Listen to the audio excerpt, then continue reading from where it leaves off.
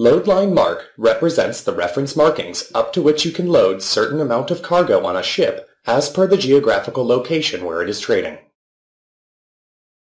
These load lines are 25 millimeters thick. They are painted in white or yellow on a dark background or in black on a light background. The upped edge of each load line indicates its exact level. The deck line is marked on their midships and is 300 millimeters long. Its upper edge marks the top of the freeboard deck.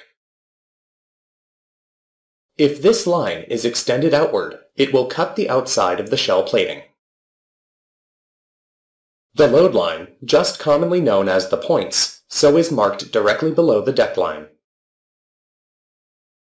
The deck line and the Plimsoll marked, are situated exactly on their midships. The vertical distance from the upper edge of the deck line to the center of the load line disc is called the statutory summer freeboard. The letters on either side of the disc represents the classification society. A vertical line is placed at 540 millimeters forward of the disc with holes underlined measuring 230 millimeters on each side of it. S stands for summer load line. The position of this load line is calculated first and position of others calculated from it.